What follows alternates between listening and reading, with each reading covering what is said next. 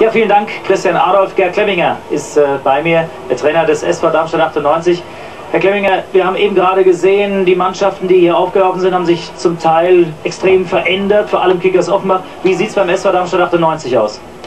Ja, bei uns sieht es so aus, dass wir nicht äh, uns großartig verändert haben. Wir haben im Kader vier neue Feldspieler plus einen Torhüter, der momentan noch verletzt ist leider.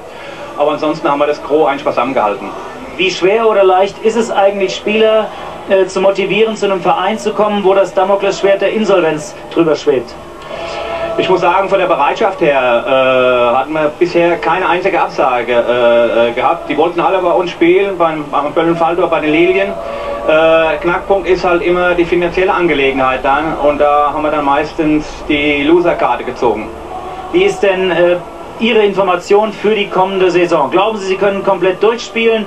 Wird der Insolvenzantrag zurückgenommen? Was ist Ihre Perspektive für die kommende Saison in der Fußballregionalliga?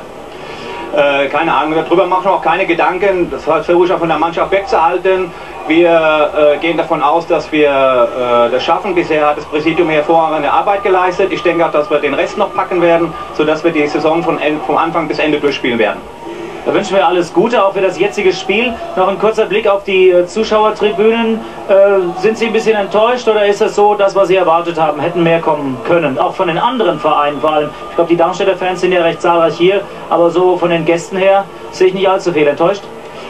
Ach, enttäuscht nicht mal am Ferienzeit, sage ich mal. Toll ist, dass die Mannschaften äh, hier sind. Natürlich hätte man vielleicht von, auch von den Kickers äh, ein paar mehr Zuschauer erwartet. Aber okay, gut, das ist eine hervorragende Sache hier und die Clubs wollen uns helfen und ich denke, das soll im Vordergrund stehen.